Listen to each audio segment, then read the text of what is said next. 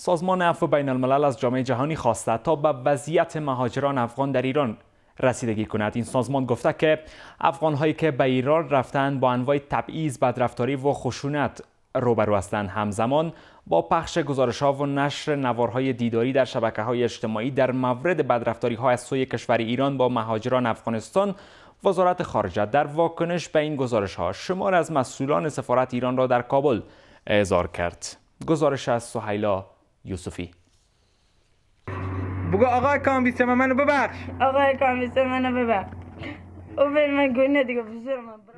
در چند روز پس این نوارهای دیداری گوناگون از بدرفتاری، شکنجه و تجاوز جنسی بر مهاجران افغانستان در شبکه های اجتماعی دست به دست می شوند. مسئله که واکنش های شمار زیاد از کاربران شبکه های اجتماعی را نیز به همراه داشته است.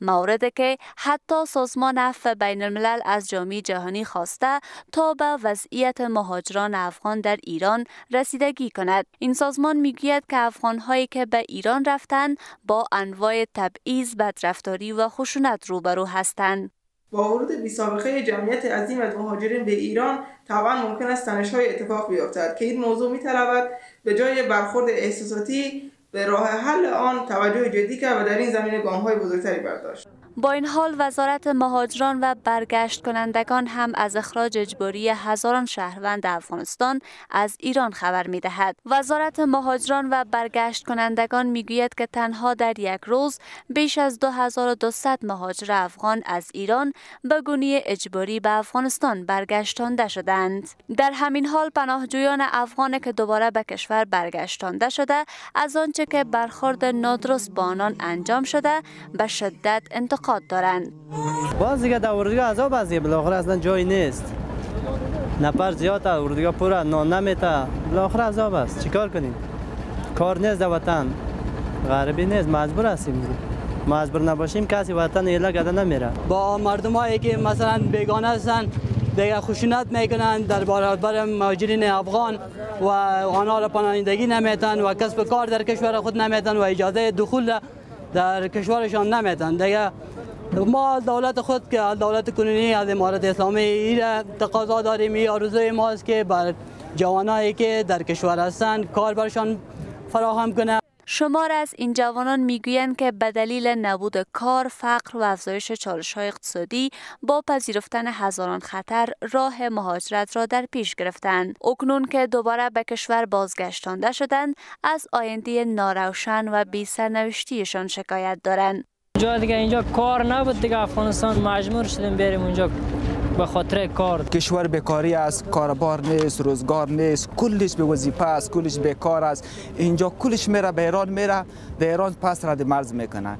چقدر مردم افغانستان که میره هر شب مثال در می وقتا 100 موتر 80 موتر مسافربری میره به مرز اعلام می‌کنه همونجا میره پس رد مرز می‌کنه اینجا. این همی کار است که مردم خیلی بتش جگرخون است خیلی مفلس است خیلی در بدری است. مردم مجبور میشن.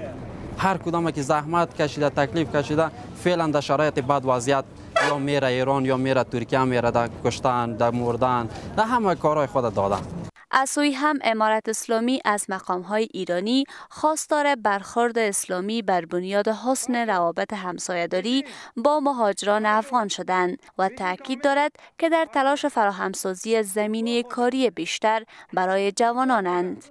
ما توقع ما ای هست که کشور ایران و مسئولین کشور ایران با افغان هایی که میزبانی خوب در سالهای گذشته کرده او را ادامه بدهند و روی حسن همجواری و برادری و مسلمانی که مشترکات با هم داریم زمولی از با افغان های برخورد خوب صورت بگیرد تا زمانی که اونا به دل خود به کشور خود برمیگردند.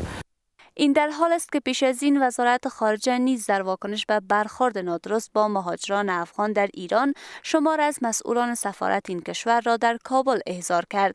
وزارت خارجه می‌گوید که در دیدار با مسئولان سفارت ایران نگرانی ها را در مورد وضعیت مهاجران افغانستان در ایران با آنان شریک ساختند.